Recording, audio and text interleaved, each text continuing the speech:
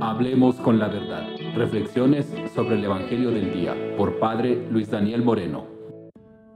Lectura del Santo Evangelio según San Mateo. En aquel tiempo Jesús dijo a sus discípulos, Les aseguro que si su justicia no es mayor que la de los escribas y fariseos, ciertamente no entrarán ustedes en el reino de los cielos. Han oído ustedes que se dijo, No matarás, y el que mate será llevado ante el tribunal. Pero yo les digo, todo el que se enoje con su hermano será llevado ante el tribunal. El que insulte a su hermano será llevado ante el tribunal supremo. Y el que lo desprecie será llevado al fuego del lugar de castigo. Por lo tanto, si cuando vas a poner tu ofrenda sobre el altar te acuerdas allí mismo que tu hermano tiene una queja contra ti, deja tu ofrenda junto al altar y ve primero a reconciliarte con tu hermano, y vuelve luego a presentar tu ofrenda. Arréglate pronto con tu adversario mientras vas por el camino no sea que te entregue al juez, el juez al policía y te metan a la cárcel. Te aseguro que no saldrás de allí hasta que hayas pagado el último centavo. Palabra del Señor. El Evangelio de este día nos habla acerca de la justicia. Sin embargo, la justicia de la que nos habla Jesús no es la de tener un mundo más equitativo, donde todos tengan las mismas oportunidades y no se pisoteen sus derechos. La justicia de la que nos habla nuestro Señor es la justicia bíblica, cuyo sinónimo es la santidad. El valor de la justicia en la Sagrada Escritura se mueve en el ámbito de la fidelidad, conformidad, sinceridad y cumplimiento de las exigencias de la alianza de Dios. Es justo aquel que es fiel a la ley de Dios y la cumple, y esto se refleja en su relación con los demás a través del cumplimiento de los mandamientos y llevando una vida al servicio de los demás. Es aquí donde podemos entender que Jesús viene a establecer que la justicia es la búsqueda de la santificación personal y a través de ello demostrar fidelidad a la voluntad de Dios.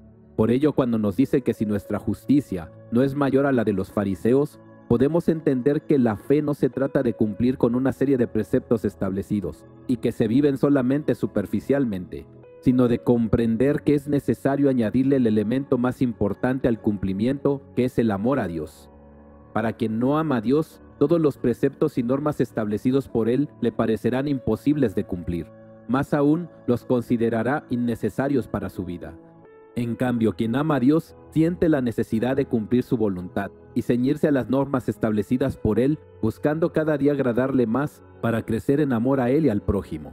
De aquí se desprende el entender que de nada nos serviría asistir a misa, confesarnos y comulgar si eso no influye profundamente en nuestra vida personal, llevándonos a un cambio.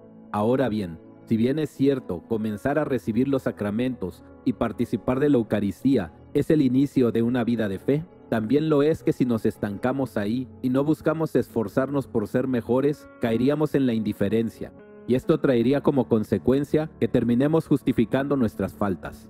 Al Jesús decirnos que no entraremos al reino de los cielos, nos está motivando a vivir nuestra fe con amor y sinceridad, de tal manera que todo lo que hagamos sea para crecer en el amor a Dios y en el servicio a nuestros semejantes.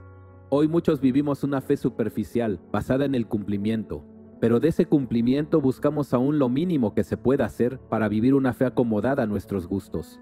Esto nos lleva a volver el catolicismo en una religión a nuestra medida, donde tomamos de Dios aquello que nos gusta y dejamos de lado aquellas exigencias que no queremos practicar.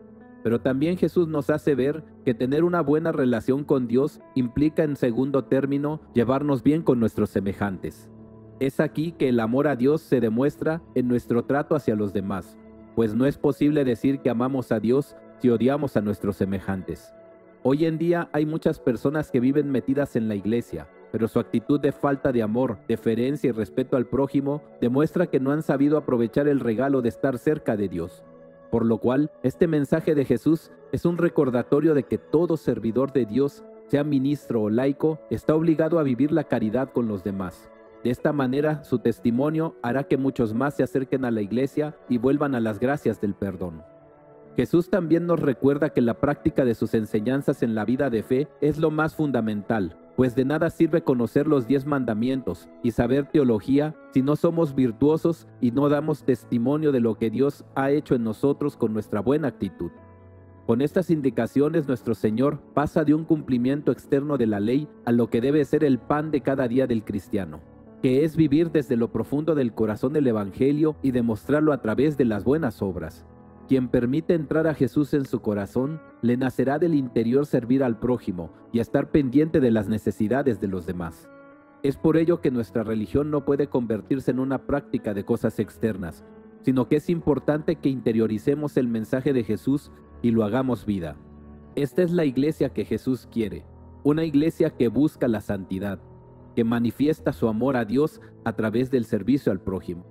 Católico, no practiques tu fe solo de manera externa. Interioriza el mensaje de Jesús y para que tu justicia sea mayor que la de los fariseos, vive en armonía con los demás. De esta manera tu ofrenda a Dios será agradable a sus ojos. Meditemos en la virtud de la paciencia. Una de las grandes piedras de tropiezo en el seno familiar es la falta de paciencia. Esto se debe a que cada uno de nosotros es distinto y quiere las cosas de diferente manera. Para vivir la paciencia en familia debemos aprender el siguiente principio. No todo puede ser como yo quiero. Es aquí donde si todos buscamos que las cosas sean de acuerdo a la voluntad de Dios y los principios establecidos en el seno familiar, nos será más fácil sobrellevarnos unos a otros. Ofrezcamos el día de hoy como ejercicio de paciencia, decir cuando estemos perdiendo la paciencia. Señor, no todo puede ser como yo quiero. Que Dios y María Santísima te bendigan.